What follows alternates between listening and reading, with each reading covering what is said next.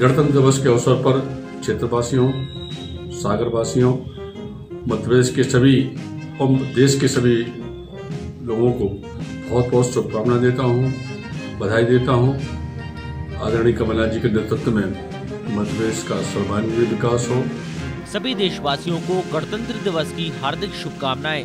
सौजन गोविंद सिंह राजपूत, राजस्व एवं परिवहन मंत्री सागर, मध्य प्रदेश। सभी देशवासियों को गणतंत्र दिवस की हार्दिक शुभकामनाएँ। सौजन प्रोफेसर आर पी तिवारी, कुलपति डॉक्टर हरि सिंह गौर विश्वविद्यालय, सागर, मध्य प्रदेश। सभी देशवासियों को गणतंत्र दिवस की हार्दिक शुभकामनाएँ। सौजन तरवर सिंह लोधी, बंडा विधायक, सागर। सभी देशवासियों को गणतंत्र दिवस की हार्दिक शुभकामनाएँ। सौजन अभय दरे सागर, मध्य प्रदेश। सभी देशवासियों को गणतंत्र दिवस की हार्दिक शुभकामनाएँ। सौजन प्रदीप डारिया विधायक नरियावली, सागर, मध्य प्रदेश। सभी देशवासियों को गणतंत्र दिवस की हार्दिक शुभकामनाएँ। सौजन महेश राय बीना विधायक, सागर, मध्य प्रदेश।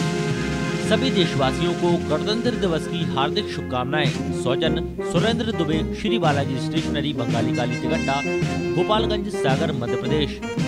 Noble group की तरफ़ से सभी देशवासियों को गणतंत्र दिवस की हार्दिक शुभकामनाएँ। डॉक्टर पूर्वा जैन, सचिव नोबल ग्रुप, गवर्निंग बॉडी उपाध्यक्ष नोबल ग्रुप, मैनेजमेंट कमेटी, प्राचार्य नोबल कॉलेज, शिक्षा समाज सेवा एवं महिला सशक्तिकरण कार्यकर्ता। सभी देशवासियों को गणतंत्र दिवस की हार्दिक शुभकामनाएँ और बधाई। सौजन राजेश बंजारे टी आई गढ़ाकोटा, सागर, मध्य प्रदेश। गणतंत्र दिवस की समस्त नगर वासियों को हार्दिक बधाई एवं शुभकामनाएँ। सौजन श्री सुरेंद्र चौधरी जी, कार्यकारी अध्यक्ष, मध्य प्रदेश कांग्रेस कमेटी।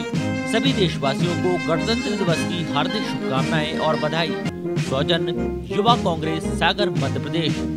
सभी देशवासियों को गणतंत्र दिवस की हार्दिक शुभकामनाएँ। सौजन राजकुमार ठाकुर, प्राचार्य सरस्वती शिशु मंदिर मोदी नगर सागर। सभी देशवासियों को गणतंत्र दिवस की हार्दिक शुभकामनाएँ और बधाई। सौजन बलवंत सिंह ठाकुर नगर पालिका सागर, मध्य प्रदेश।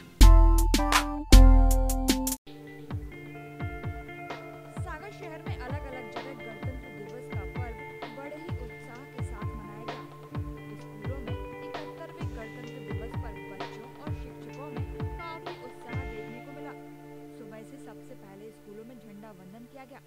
फिर स्कूलों में सांस्कृतिक कार्यक्रम भी आयोजित किए गए।